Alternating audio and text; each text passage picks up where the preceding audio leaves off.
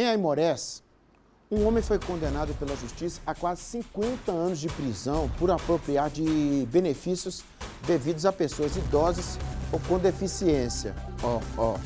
De acordo com o Ministério Público, o crime é, configura agiotagem. Ó, olha lá, rapaz. Nota promissória? Ainda usa isso, né? Ó, tanto de cartão. Parece... É, a Alessandra vai explicar pra gente. Ô, Alessandra, Ué, que conversa é essa? Agiotagem Aimorés? Boa tarde para você. Ei, Nico, boa tarde para você, boa tarde para todo mundo que nos acompanha. Então, Nico, todos esses documentos que a gente vê aí nas imagens, esses documentos, eles são resultado de uma operação realizada por várias instituições, aí, Ministério Público, Polícia Civil, realizada no ano de 2022 contra esse réu, né, esse homem que foi foi condenado pela justiça. Esses documentos aí trata-se de contratos de compra e venda, documentos de veículos, títulos de protestos, extratos bancários, também controles de caixa de pagamentos, notas promissórias, recibos de aluguéis, inúmeros cheques preenchidos e também munições e arma de fogo. Esses documentos, o valor que tinha nesses documentos ultrapassa 2 milhões de reais. A polícia entendeu, aliás, Nico, a justiça entendeu que esse homem, né, a prisão dele é, deveria ser né, provisória. Ele foi acusado aí, do, aliás, foi condenado pelo crime de agiotagem e também de apropriação de benefícios devidos. E esse homem praticava isso no Vale do Rio Doce, na cidade de Aimorés, principalmente contra pessoas idosas ou pessoas com algum tipo de, é, de deficiência.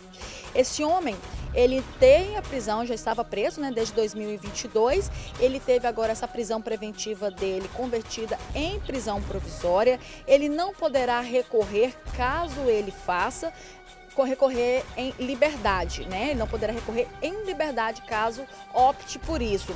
Ele também foi condenado por posse irregular de munições, de arma de fogo e ainda terá de indenizar as vítimas em valores que variam entre 2 e 5 mil reais. A polícia entendeu que os juros cobrados por esse homem, eles excediam, eles eram muito abusivos, eram latentemente abusivos. O homem, conforme a justiça, ele se apoderava ou retia os cartões de crédito ou de benefícios dessas pessoas, né, especialmente aí pessoas idosas e também com algum tipo de deficiência, e ele fazia isso como forma de cobrar essas dívidas, esses dinheiros que ele emprestava.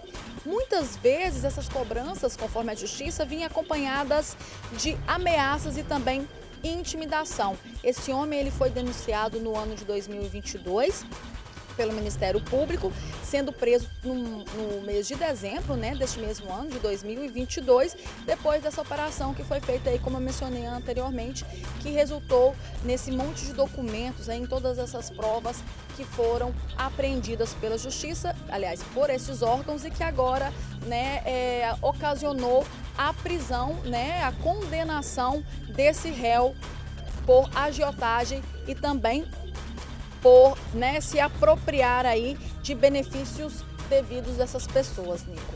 É com você. É, a pena tá aí, pena pesada, né? É quando a gente vê na imagem aquela quantidade de cartões ali, Alessandra, e o volume de, de notas promissórias, não, não se sabe, né? É, do, do, que se trata as notas promissórias, mas a partir da investigação da polícia e do Ministério Público, provavelmente ficou constatada então essa obrigação de dívida, esse compromisso né, de empréstimo, e aí aplicação de juros, juros é, é, fora do, do, do, que é praticado né, oficialmente no Brasil, sem contar que a pessoa física ela não tem autorização para fazer esse tipo de, de operação, né, que é quase que uma operação bancária de empréstimo, aí vai incorrer na agiotagem. Foi quando o meu cinegrafista aqui perguntou, ah, agiotagem é crime? Aham. Uhum. É, e aí o volume de coisa lá, a quantidade de cartão. Suponhamos que cada cartão daquele seja de uma pessoa.